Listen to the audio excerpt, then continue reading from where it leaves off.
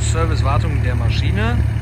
Die Maschine steht jetzt hier vor uns, der Motor läuft noch, weil wir gerade kurz zuvor ein anderes Video gedreht haben. Wir sehen jetzt hier das Bedienpanel.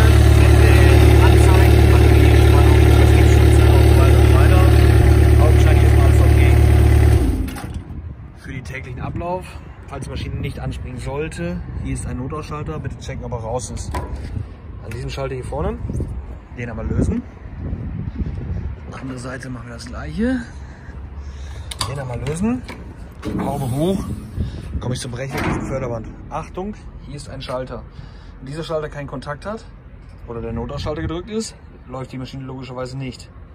Hier sehe ich jetzt die Wasserdüsen, Beregnung für Staub. Hier die Verstellung der Brechbacke und so weiter. Die Größenverstellung funktioniert relativ einfach zu sehen an diesem Keil hier. Der Keil fährt weiter rein, fährt weiter raus und ändert somit die Brechgröße. Eigentlich relativ wartungsfreudig. Diese große Platte hier ist eine Sollbruchplatte. Die ist auch noch mal einmal im Karton mit dabei. Falls Sie einen Vorschlaghammer und sonstiges finden, diese Platte bitte einmal austauschen. Liegt los in der Nut, in der Nut, kann man relativ einfach rausnehmen. Falls das Band mal runter soll, natürlich hier Schnellwechsler, man kann das Förderband rausnehmen.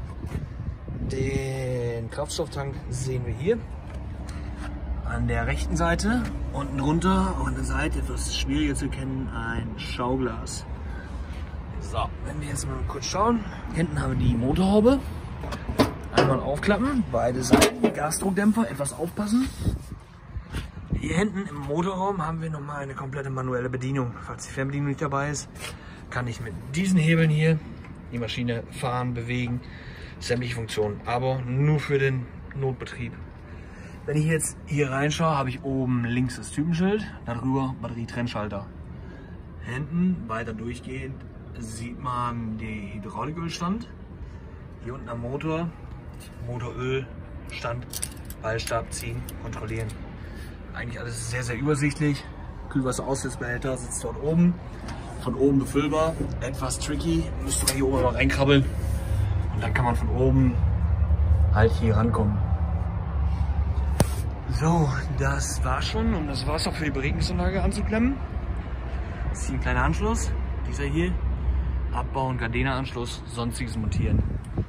Falls er mal nicht in gewünschter Größe brechen sollte, wie gesagt, hier die Platte, die sogenannte Toggle Plate, einmal kontrollieren. Was wichtig ist, sind diese Schrauben, diese hier, diese hier. Damit ist die Brecherplatte befestigt, genauso wie auf der Rückseite. Hin und wieder mal kontrollieren, festen Sitz. Ja, das war schon. Ach, den dritten Notausschalter haben wir vergessen. Er sitzt natürlich hier oben am Brecher. Heißt, drei Notausschalter sind an der Maschine. Ein Schalter für die Klappe und ein mal die Funkfernsteuerung. Also heißt, wenn er nicht anspringen sollte, irgendeiner dieser Schalter ist mit großer Wahrscheinlichkeit die Ursache. Ja, ansonsten dürfte alles klar sein.